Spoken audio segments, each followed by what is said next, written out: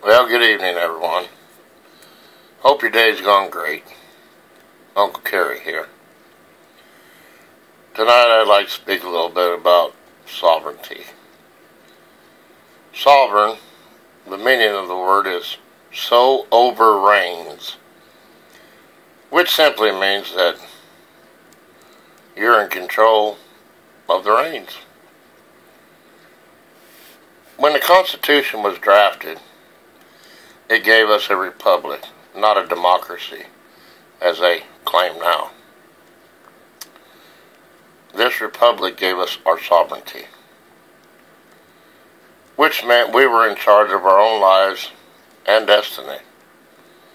Also, that we, the people, in fact, were in control of our elected representatives. Amendments 9 and 10 of the Constitution explain that best. Are we still sovereign? Yes and no.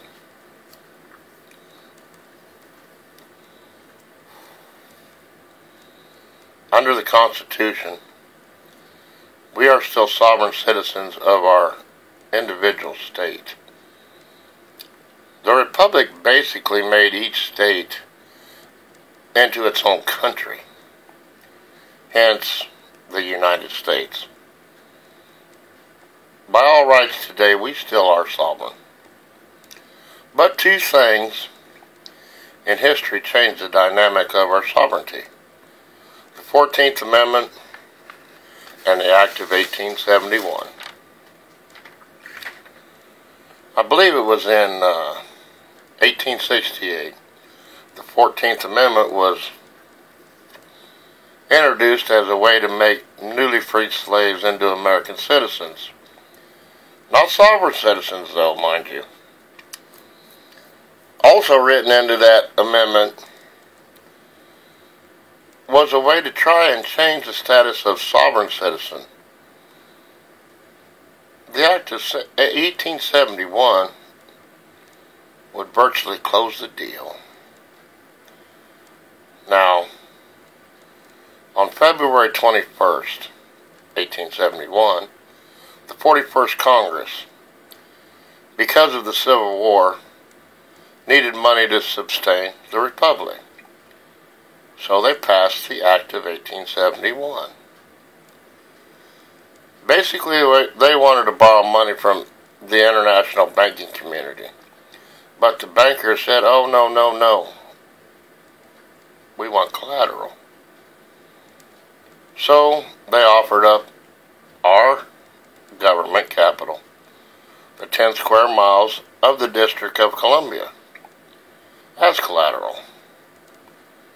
This act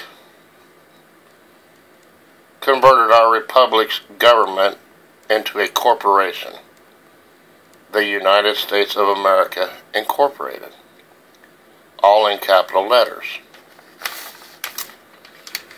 which in turn made the government no longer accountable to the sovereign citizens. That 10 square mile property of ours would now be only accountable to the banks and the kings and queens that ran them. Well, after a while, the corporation, under the wording of the 14th Amendment, figured out a way to illegally force sovereign citizens into contractual second class servants of the corporation.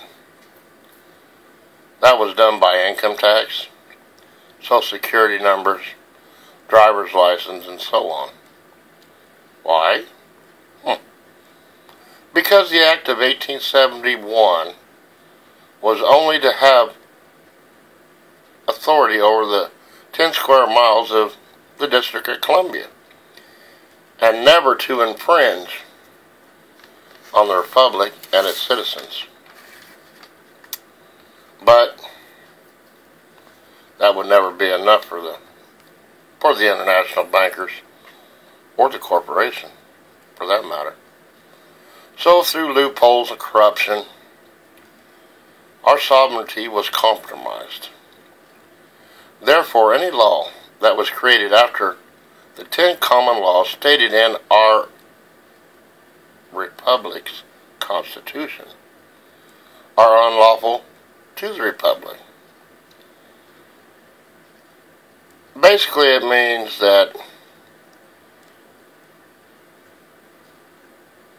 they made a way to make us slaves of the corporation. But yet we still are sovereign through our states. The states have the right to choose to follow federal law or not. Excuse me. We